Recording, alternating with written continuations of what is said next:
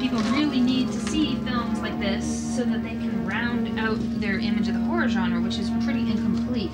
It's just nice that we have somebody in this town now who devotes her life to, uh, you know, this genre.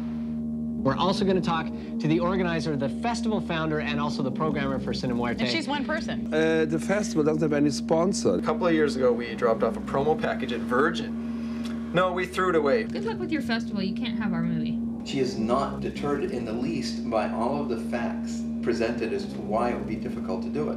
There's all kinds of little things that pop up that could completely ruin everything. Where is uh, Kayla? I'm going to kill her. Like I had the one woman that ran out crying, and then um, another guy got taken away in an ambulance. I was just witness to one of the worst movies ever made.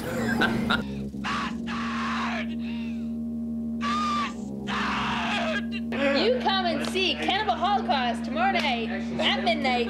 You get a Cannibal Holocaust call. My stepfather and I both have really volatile tempers, and this would lead to some massive, massive fights. We told her no every five minutes, and she ignored it. I'm locked up. It's my birthday, and I'm like in a cell. And then I went to live with my aunt, and then she was a crazy Christian fanatic who actually tried to exorcise me. The fact that I'm a fucked up teenager as an excuse to continue being a fucked up teenager, you know, like that's not gonna wash. Even though she's a sweet natured girl, she's a total fucking freak. Because you get to be the first people in Canada to see this restored edition of Cannibal Holocaust. It's made from the original negative, so it's gonna be fucking beautiful. Me and Anthony picking up Mr. Udo Kier, and uh, I mean, shit, the guy knows Madonna. You know you're going to be in for mucho surprises, lots of skin and sex and violence. The only person who hates it, of course, is Jason. I'm sort of the guy that drives her around and uh,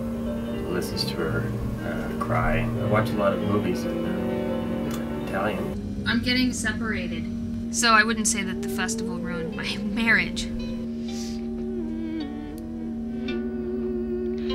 She really respects the films, which is far and few between these days. It was realistic. It was gritty. It was like in the same vein as something like Taxi Driver to me. More and more forcefully say, that's not what I'm doing. That's not what my festival is about. This festival, Cine Muerte, she, she was told by many, many, many people it couldn't happen. I think I just completely lost my audience. I just lost them. They're not coming back. I don't know what to do. Oh, a festival like